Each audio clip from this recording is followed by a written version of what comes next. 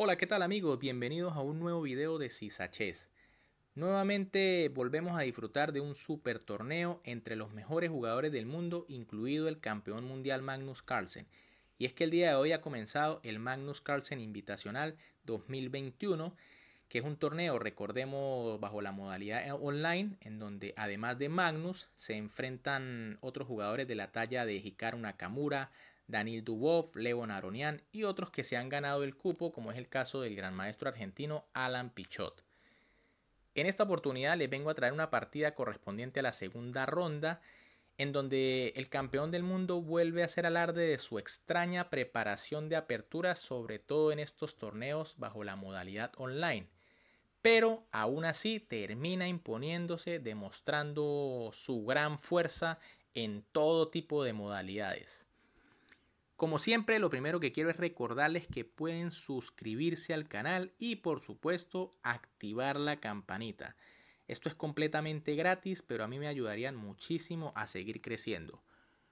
Con piezas blancas, el actual campeón mundial Magnus Carlsen inicia la partida con la extraña jugada C3, realmente algo muy raro, sobre todo en la élite mundial. Lo más normal es comenzar con caballo F3, G4, D4 o incluso C4. Pero ya sabemos que Magnus en este tipo de eventos suele innovar de formas muy extrañas y a veces hasta trolear. Y con piezas negras, el gran maestro francés Maxime Bachier-Lagrave responde con la jugada B6, una jugada que para las negras no parece ser la mejor realmente. Tal vez eh, la mejor opción puede ser e5, tras lo cual luego de E4 se transpone a la conocida apertura Ponciani que algunos jugadores suelen usar, pero sobre todo en ritmo bala o ritmo blitz. Pero bueno, el francés decide jugar B6, Magnus juega E4, que ya parece una jugada más normal tratando de obtener el centro.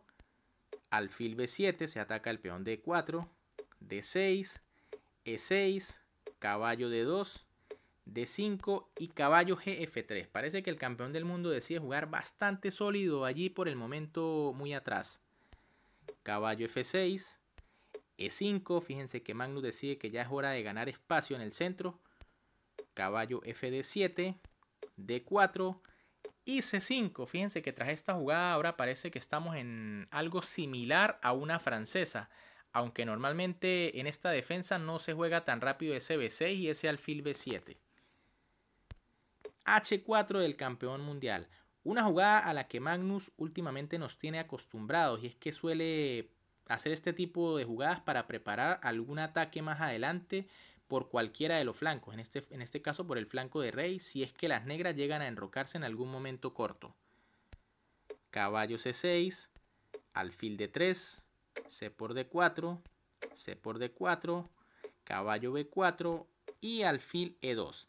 Aquí ya la jugada alfil B1 realmente sería un poco dudosa, puesto que tras alfil A6, fíjense que las negras dominan por completo la diagonal blanca e incluso no le permiten a las blancas enrocar.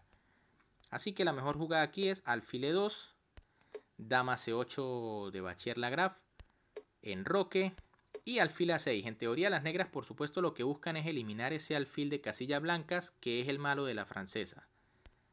Alfil por A6, dama por A6, caballo E1. Fíjense que con esta jugada Magnus lo que busca es rápidamente liberar esta diagonal para poder pasar su dama al ataque por el flanco de rey. Torre C8, H5. Fíjense que ya está empezando a buscar jugadas como H6. Alfil E7, A3, caballo C6 y dama G4, lo que les comentaba. Rápidamente el campeón del mundo pasa su dama por el flanco de rey a ver si consigue alguna maniobra de ataque por allí. Y G5. Realmente aquí Bachier Lagra responde con una jugada muy activa y muy interesante. Realmente esta jugada es eh, bastante fuerte. Ya que si por ejemplo las blancas deciden hacer la jugada H por G al paso, que sería mala, las negras simplemente capturarían con el peón H y la columna se abriría, creando algunos problemas para el rey de Magnus. Por eso es que el campeón mundial decide jugar caballo de F3 y mantener todavía las columnas cerradas porque mientras que él ya se enrocó, su rival tiene el rey bastante seguro en el centro por los momentos. H6 defendiendo el peón de G5, alfil E3, dama E2. Fíjense que la dama negra también está entrando en terreno enemigo con algunas amenazas interesantes. Por ejemplo, se amenaza el peón de B2, que parece bastante jugoso. B4, Magnus lo defiende allí. Caballo de 8, liberando la columna C para la torre. Dama H3 y F5. En este momento el francés no hace la mejor jugada. Había que jugar torre G8, una jugada que simplemente amenaza los famosos calzoncillos con la jugada G4. Y tras caballo H2, ahora sí F5, pero la idea es que se quita este caballo de la casilla F3, que como veremos más adelante será bastante fuerte en la otra variante. Fíjense que aquí eh, Lagrave juega F5 directo y ahora las blancas tienen la posibilidad, como lo hizo Magnus, que jugó E por F6 al paso y tras caballo por F6, caballo E5. Fíjense que el caballo en vez de estar en H2, atrás aguantando y defendiendo, está en E5 atacando en una buena casilla. La blanca sacrifican un peón, pero está más que compensado, que compensado por la gran actividad que tendrán sus piezas. Dama por H5, fíjense que el francés acepta el reto. Dama por H5, caballo por H5 y caballo 1 de 3. Definitivamente las piezas blancas están mejor ubicadas, empezando por ese caballo en E5 que está muy bien allí, además defendido por otro caballo. En caso de que un caballo se quite, entra el otro. Alfil de 6, torre FC1, torre por C1 y torre por C1. Además también vemos que la torre blanca está activa mientras que la negra aún sigue sin moverse. Torre H7, torre C8. Rápidamente el campeón del mundo dominando la octava fila y ya creando algunas amenazas como caballo C6. Torre C7, torre A8, caballo F6 y B5. Gran jugada de Magnus que rápidamente fija este peón de B, además de que le da la opción al caballo blanco de saltar a C6. Rey E7. La jugada, por ejemplo, alfil por A3, ganando otro peón, solamente le complicaría las cosas a Bachier para defenderse, puesto que luego de la jugada caballo C6 se amenaza el caballo de D8, alfil E7, F3, las negras están como en una posición de Suxuan. Por ejemplo, torre de 7 intentando seguir con la defensa del caballo vendría caballo de E5, tras torre C7, caballo G6 y ahora no se puede impedir la maniobra caballo por E7 y torre por E8, tras la cual las negras por supuesto estarían completamente perdidas.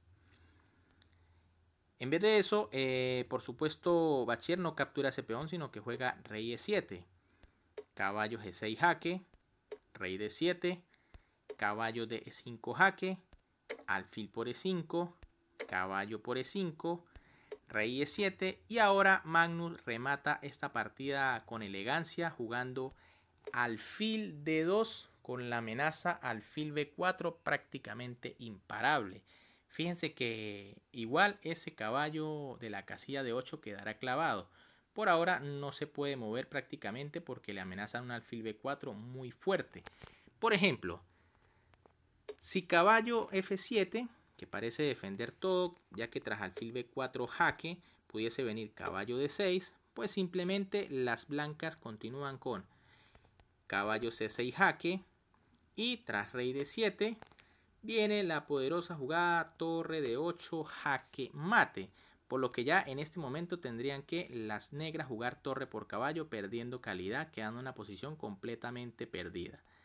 Y si por ejemplo en vez de caballo f7 digamos que las negras jueguen alfil e8 para quitarse allí de esa amenaza de alfil b4 jaque, pues simplemente las blancas continúan con caballo c6 poniendo eh, presión sobre el caballo de d8, torre de 7 defendiendo y ahora a4 y el plan de la blanca simplemente va a jugar a 5, que caiga el peón de b después y ganar con ese peón que va a quedar libre.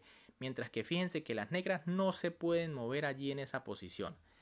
Gran partida del campeón del mundo que nuevamente nos demuestra que en lo que es ajedrez online puede estar preparado con cualquier cosa, ya sea haciendo las jugadas más extrañas desde la apertura y eh, imponiendo su gran fuerza en, sobre todo en los finales.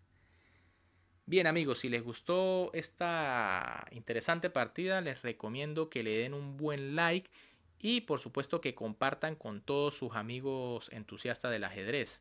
Además, eh, vuelvo a recargarles que pueden suscribirse al canal y activar la campanita. Esto es completamente gratis, pero a mí me ayudarían muchísimo. Un gran saludo para todos, se cuidan y nos vemos en un próximo video.